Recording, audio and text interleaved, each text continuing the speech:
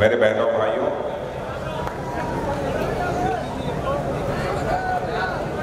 सबसे पहले तो मैं आपके धैर्य की प्रशंसा करना चाहता हूँ।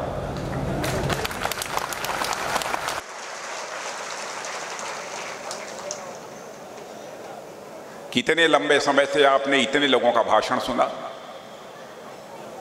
मैं बैठे बैठे यह सोच रहा था कि मैं भी यदि आगे बोलूँगा तो क्या होगा? माताओं, बहनों की भी बेचैनी मैं देख रहा था। स्वाभाविक है। इसलिए मैं आपके धैर्य की मैं प्रशंसा करता हूँ।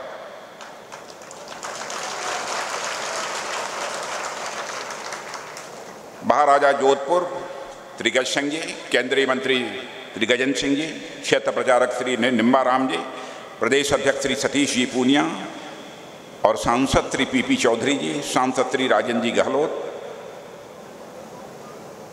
और श्री पुखराज जी गर्ग, स्थानीय विधायक तो श्री रामेश्वरी देवी। मेरी दाई ओर विराजमान तभी जनप्रतिनिधिगण, सामने विशाल संख्या में यहाँ पधारे मेरे सभी बहनों भाइयों, श्री पब्बा राम जी विधायक, श्री हमीर सिंह जी, श्री नारायण सिंह देवल श्री मदन दिलावर और यहाँ मौजूद मेरे सभी सम्मानित बहनों एवं भाइयों, सबसे पहले तो मैं सचमुच दिलीप करंजी राठौर, मैं उनका तहे दिल में अभिनंदन करना चाहता हूँ कि उन्होंने दुर्गादास राठौर की यह प्रतिमा लगाकर एक बहुत ही पुनीत कार्य किया है उन्होंने। मेरे बहनों, भाइयों, जब दिलीप करण जी यहाँ खड़े होकर भाषण दे रहे थे मैं उनके भाषण को भी सुन रहा था और ऊपर से नीचे मैं दिलीप करण जी को भी मैं देख रहा था। चेहरे पर वह गांधीर वह सौम्यता, वाणी में वह विनम्रता। मैंने बैठे, बगल में बैठे स्वामी जी से पूछा लगता है मुझे कि यह दुर्गादास जी राठौर के ही वंशज हैं।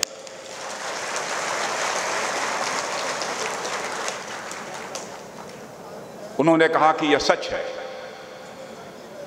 अमेरिका में सैंतीस वर्षों तक रहने के बावजूद चेहरे पर कहीं भी कोई घमंड, गुरूर, अभिमान की झलक भी देखने को नहीं मिलती। वीर दुर्गादास जी राठौर, ये भारत माता के सपूत कैसे थे? राजस्थान का बच्चा बच्चा तो परिचित है, लेकिन पढ़े लिखे लोग जो पूरे भारत के हैं, वह भी वीर दुर्गादास जी राठौर के बारे में अच्छी तरह जानते हैं।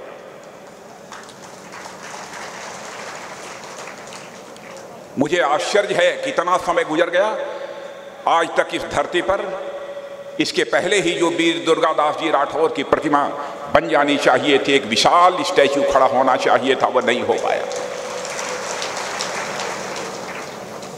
लेकिन इस काम को जिस तरीके से पहल करके दिलीप करंजी ने किया है, मैं दिलीप करंजी, मैं भारत का रक्षा मंत्री होने के नाते भी मैं आपका हार्दिक अभिनंदन करता हूँ, आप सभी का, आपका मैं स्वागत करता हूँ और पूरी समिति का आपके मैं स्वागत करता हूँ। अद्भुत व्यक्तित्व था। वीर सपूत दुर्गादास जी का स्वामी भक्ति की बात कही गई है उन्होंने स्वामी भक्ति भी तो स्वामी भक्त तो थे ही साथ ही साथ कर्तव्य निष्ठ थे और सौर्य पराक्रम के धनी थे। वीर दुर्गादास जी राठौर के बारे में बहुत सारी बातें कही गई हैं, इसलिए बहुत विस्तार में नहीं जाना चाहता। अब उनकी, कोई खान थे, उनकी माता की जब हत्या कर दी थी तो लोगों ने कहा कि अब इनके परिवार की सारी जितने भी औरतें हैं, सभी औरतों की हत्या कर देनी चाहिए। तो वीर दुर्गादास जी ने, राठौर ने कहा कि चाहे किसी भी जाति पंथ अथवा मज़हब की माताएँ, बहनें क्यों न हो। हमारी माताएँ, बहनें हैं। उन्होंने हत्या किया होगा मेरी माँ का। लेकिन मैं कभी भी माताओं, बहनों की मैं हत्या नहीं कर सकता। जो आयु में मुझसे बड़ी हैं, जो आयु में मुझसे बड़ी हैं, वो हमारी माँ हैं। और जो हमारी आयु की हैं वो हमारी बहन हैं, जो हमसे आयु में छोटी हैं, वो हमारी बेटियाँ हैं। ऐसा चरित्र था। बहनों, भाइयों, उनका इतिहास अभी हमारे पीपी चौधरी जी कह रहे थे। उनके बारे में सारी जानकारी आपको दे रहे थे कि मारवाड़ की माताएँ भी अपेक्षा करती हैं। लोग कहते हैं माई एहड़ो पूजन जहड़ो दुर्गादास। हे माँ ऐसे पुत्र को जन्म देना। जो दुर्गा दास की तरह हो, स्वामी भक्ति भी हो, बहादुर भी हो, शौर्य और पराक्रम का धनी भी हो।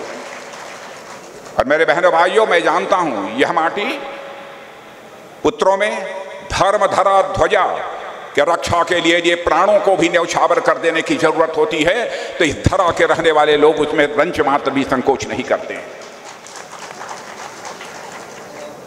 इस राजस्थान के, मारवाड़ के महापुरुषों ने केवल विदेशी आक्रांताओं से ही संघर्ष नहीं किया है, बल्कि हमारी भारत की विशाल संस्कृति, सभ्यता, यहाँ की सामाजिक धरोहर की भी रक्षा करने का काम किया है और साथ ही साथ अपने कर्तव्य के प्रति, अपने धर्म के प्रति अपनी प्रतिबद्धता को बनाए रखा है। वीर दुर्गादास जी राठौर का जन्म एक बहुत ही साधारण परिवार में हुआ था, पर उन्होंने अपनी स्वामी भक्त से अपनी कर्तव्य निष्ठा से इतिहास में असाधारण स्थान अपना बना लिया। यह कोई छोटी बात नहीं है। उनका चरित्र ऐसा है कि आज लोग कहते हैं, ईमानदारी, बहादुरी और स्वामी भक्ति का पर्यायवाची किसी व्यक्ति को कहना हो तो किसी कहा जाना चाहिए? तो लोग ये कहेंगे, ईमानदारी, बहादुरी और स्वामी भक्ति का पर्यायवाची यदि कोई हो सकता है तो भारत माता के वीर सपूत दुर्गादास राठौर ही हो सकते हैं। यह लोगों की धारणा उनके बारी बनी है।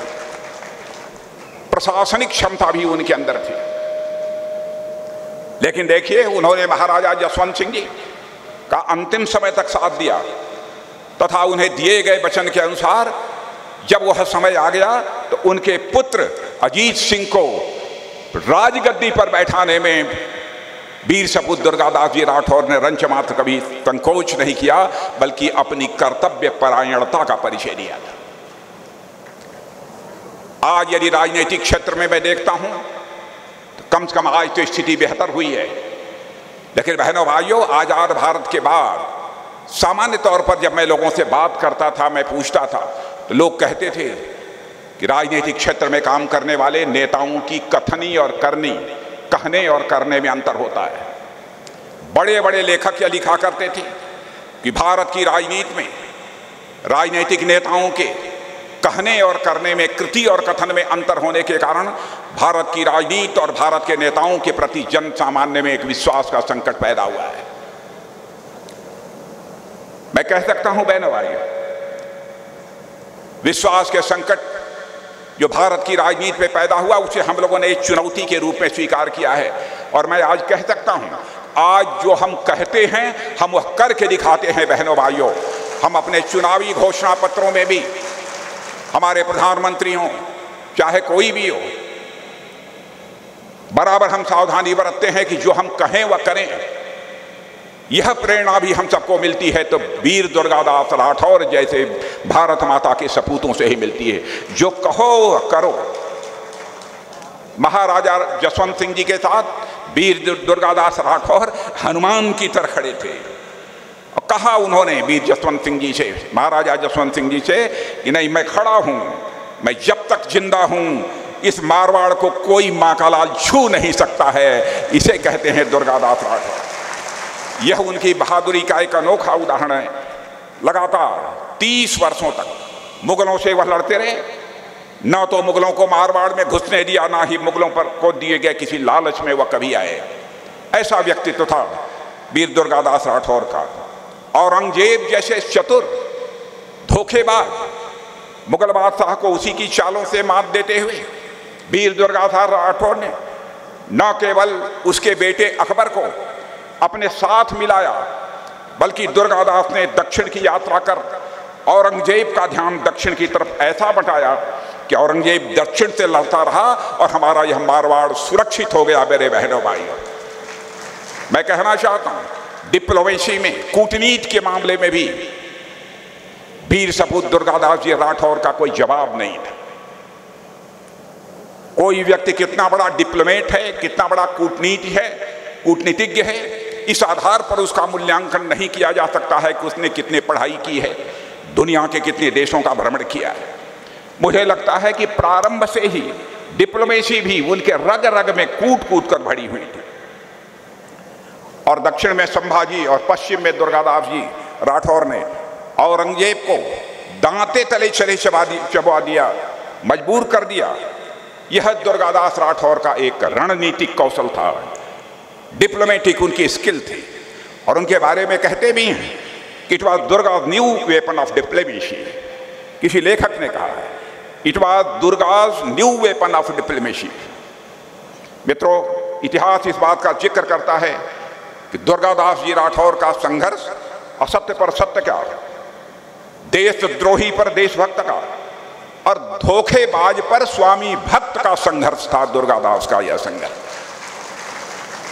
उनके मित्रों में की गिनती में औरंगज़ेब का पुत्र अकबर तामिल था। और क्योंकि अकबर स्वयं अंग्रव औरंगज़ेब की तानाशाही से दुखी होकर दुर्गादास जी राठौर की शरण में आ गया था। और औरंगज़ेब ने जब प्रलोभन दिया दुर्गादास को कि अकबर को साथ मत लो, अकबर को छोड़ दो। इसके बदले में तुमको मारवाड़ का महाराजा मैं बनाने को तैयार हूँ। लेकिन उनके प्रलोभन में नहीं आए। दुर्गादास जी राठौर। और उन्होंने कहा, मित्र का सम्मान करना, दोस्त का सम्मान करना हमारा फ़र्ज़ है, यह हमारा कर्तव्य है। मैं सत्ता को ठोकर मार सकता हूँ, लेकिन दोस्ती पर किसी भी सूरत में सवाल या निशान नहीं लगने दूँगा। यह था दुर्गादास राठौर का चरित्र। मेरे लिए किसी रियासत का राजा, महाराजा बनना कोई महत्व तो नहीं रखता। बल्कि मेरी मातृभूमि को अक्षुण व स्वतंत्र बनाए रखना, यही हमारा क्षत्रिय धर्म है, यह कहा था दुर्गादास जी राठौर ने। यह कर्तव्य निष्ठा अपने में है। बहनों, भाइयों, इस प्रकार की कर्तव्य निष्ठा यह बेजोड़ होती है। जब अकबर देश छोड़कर जाने लगा, तब उसने अपने दो पुत्रों को, एक पुत्री और एक पुत्र, यह उनके हवाले कर दिया। और अब देखिए दुर्गादास जी राठौर को अकबर ने जब अपने पुत्र और पुत्री को उन दुर्गादास जी के हवाले कर दिया, आपकी देख रेख में इन्हें छोड़कर मैं जा रहा हूँ तो उन्होंने उन दोनों को पुत्री और पुत्र अकबर के, उनके धर्म के अनुसार उन्होंने शिक्षा दिलाई। उन्होंने हिंदू धर्म की शिक्षा उनको नहीं दिलाई थी, उनके धर्म के अनुसार शिक्षा दिलाई। बहनों, भाइयों, हिंदू और मुस्लिम के बीच कुछ ताकतें, भेद भी पैदा करने की कोशिश करती हैं। उदयपुर जैसी घटनाएँ हो जाती हैं। कितनी विडंबना। सामाजिक एकता, सामाजिक समरसता की मिसाल। यदि कोई हो सकता है भारत के इतिहास में तो शख्सियत का नाम है वीर सपूत दुर्गादास जी राठौर। मैं, मित्रों, वीर दुर्गादास जी के मौलिक चरित्र को लेकर दो बातों का यहाँ पर और मैं ज़िक्र करना चाहूँगा। एक तो जब जब कंटालिया के मुगल सुबेदार खान शमशेर ने दुर्गादास की माँ की हत्या कर दी और उनकी माता ने दुर्गादास के बारे में कुछ भी बताने से इनकार कर दिया था। कैसी माँ थी? कल्पना करिए दुर्गादास जी की माँ कैसी उन्होंने दुर्गादास के बारे में बतलाने से सब मना कर दिया। मैं कुछ नहीं बताऊँगी कहाँ हैं। क्या कर रहे हैं? और मार डाला। उसके बाद भी महिलाओं पर उन्होंने हाथ नहीं उठाया। यह नैतिकता, यह चरित्र। वीर दुर्गादास राठौर का था, बहनों भाइयों, इसका अनुसरण हम सबको करना चाहिए। दूसरा, जब औरंगज़ेब का पुत्र अकबर पुनः अपने देश जाने लगा तो उस समय भी जिन दो बच्चों की मैंने चर्चा की, जिनको के हवाले किया था, उसमें सफियत उन्दिसा और पुत्र बुलंद अख्तर थे। दुर्गादास राठौर के हवाले किया था। अब उनकी परवरिश दुर्गादास जी राठौर ने की। और एक दिन जीवन के अंतिम पड़ाव में औरंगज़ेब ने दुर्गादास जी को एक पत्र लिखा। कहा कि मैं अपने पोते पोतियों से मिलना चाहता हूँ। यानी अकबर के जो बेटे और बेटी तुम्हारे पास हैं, उन अपने पोते और पोतियों से मैं मिलना चाहता हूँ। बहनों भाइयों, दुर्गादास राठौर अकबर के पोते और पोतियों को लेकर जब औरंगज़ेब के पास गए तो अंग्रौ अंग्रौ, औरंगज़ेब अपने जीवन के सामान खरीदने वाला, हथियार गोले बारूद या खरीदने वाला सबसे बड़ा इंपोर्टर यानी आयात करने वाला ये भारत। लेकिन आज आपको जानकर खुशी होगी कि मोदी जी के नेतृत्व में वह करिश्मा हम, हमारी सरकार ने कर दिया है, बहनों भाइयों, कि आज हम दुनिया के सबसे बड़े आयातक, यानी सबसे बड़े इंपोर्टर नहीं हैं, बल्कि आज दुनिया के टॉप 25 एक्सपोर्टर यानी दुनिया के दूसरे देशों के बेचने वालों, कि 25 देशों की कतार में आकर हम खड़े हो गए हैं एक्सपोर्टर देशों की कतार में हम आकर खड़े हो गए, यह है हमारा बात और बहनों भाइयों, मैं आप सबसे मैं अपील करना चाहता हूँ, इस समय आज़ादी का यह पचहत्तरवा वर्ष चल रहा है। हम लोग इसे अमृत महोत्सव के रूप में मना रहे हैं और हमारे प्रदेश अध्यक्ष श्री सतीश जी पूनिया और हमारे जल शक्ति मंत्री श्री गजन जी सिंह जी शेखावत ने बतलाया है कि हमारे प्रधानमंत्री ने कहा है, घर घर झंडा होना चाहिए, भारत का तिरंगा होना चाहिए। बहनों भाइयों, भारत के तिरंगे में गजब का करिश्मा, गजब का करिश्मा। भारत का तिरंगा यदि हाथ में आ जाता है बहनों भाइयों तो अपने आप सीना चौड़ा हो जाता है और उसकी रक्षा के लिए चाहे जिस हद तक जाना हो, हर भारतवासी उस हद तक जाने के लिए तैयार है। अद्भुत है। इसलिए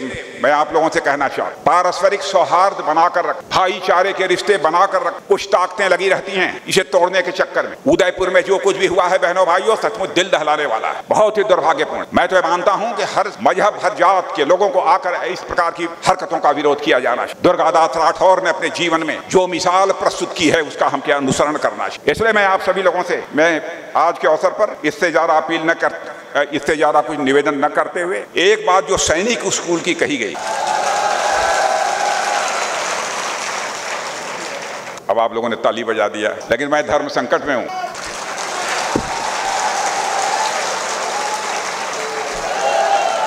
मैं मैं मैं मैं मैं धर्म संकट, मैं धर्म संकट में इसलिए हूँ क्योंकि यह सैनिक स्कूल जो खुलते हैं, वह उस राज्य सरकार को पहले प्रस्ताव भेजना होता है, फिर वो विचार उचार होता है, तब उसके बाद जाकर खुलते हैं। केवल हमारे हाथ में नहीं, लेकिन एक रास्ता हमारे पास। यदि यहाँ सैनिक स्कूल चाहते हैं तो कोई अच्छा यदि प्राइवेट स्कूल यहाँ पर चल रहा हो तो उस प्राइवेट स्कूल में मैं सैनिक स्कूल में जो पढ़ाई होती है, उसी प्रकार की पढ़ाई सुनिश्चित करने के लिए मैं कुछ व्यवस्था कर सकता हूँ, उसमें हमारी केंद्र सरकार भी सहयोग करे इसके लिए आप लोग तैयार हैं? तैयार हैं तो हाथ उठाइए, तब मैं मान लूँ।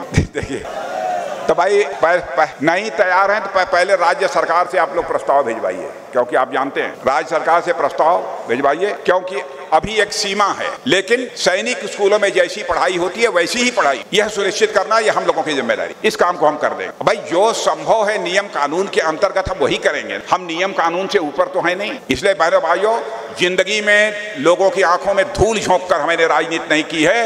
राजनीति की है तो आँखों में आँख डालकर राजनीति की है। इसीलिए मैं आपसे एक मैं कह रहा हूँ। और मैं चौधरी साहब से कहूँगा, चौधरी साहब, मैं पीपी चौधरी साहब से कहूँगा कि आप देखिए, यदि ऐसा कोई है तो वहाँ पर मैं सैनिक स्कूल में जिस प्रकार की पढ़ाई होती है, उसी प्रकार की मुकम्मल व्यवस्था वहाँ सुनिश्चित करने के लिए भारत सरकार से भी जो सहयोग अपेक्षित होगा, वो हम भारत सरकार से भी सहयोग करेंगे। और यह विद्यालय यहाँ पर खुल जाए। अब इस अवसर पर इससे ज़्यादा कुछ न कहते हुए मैं पुनः डॉक्टर दिलीप करण जी राठौर, जा खड़े हो जाइए दिलीप करण जी राठौर। बहनों, भाइयों, आप लोगों ने दिलीप करण जी राठौर के बारे में खूब ताली बजाई है। लेकिन एक बार मेरे कहने पर लगातार एक मिनट तक ताली बजा दीजिए दिलीप करण जी राठौर को।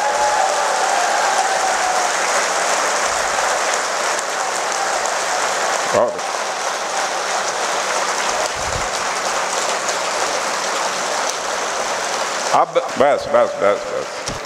अब आप लोग क्या लगा क्या नहीं लगा मैं तो नहीं जानता हूँ। लेकिन बहनों भाइयों मैं दिलीप करण जी में कुछ अद्भुत चीज़ मैंने दे, मैंने देखा। अब आप लोग जान परख परख पाए हैं कि नहीं परख पाए? माने सैंतीस वर्षों तक विदेश में रहने के बाद कहीं पर कोई छाप नहीं है कोई छाप नहीं है कोई गुरूर नहीं है कोई घमंड। गजब की धरती का यह करिश्मा इस धरती का यह करिश्मा है कि यहाँ पर दीप करण जी जैसे लोगों को भी पैदा कर। तो वीर दुर्गादास जी राठौर के प्रति हम सभी की तरफ़ से और अपनी तरफ़ से एक बार उनकी स्मृति को नमन कर और जिस माँ जिस माँ की कोख से पैदा हुए हैं, उस माँ और पिता की भी स्मृति को नमन करते हुए मैं आप सबको धन्यवाद देते हुए यहीं पर अपना निवेदन समाप्त इन धरती रे रण आंगण, पातल आज़ादी पाली ही। दुर्गादास देश रे खातिर रजवट ने रखवाड़ी ही। अमर कहानी अमर सिंह ने सूरवीर सैतानरी अजब अनूठी बाता इन रणमंग के राजस्थान री।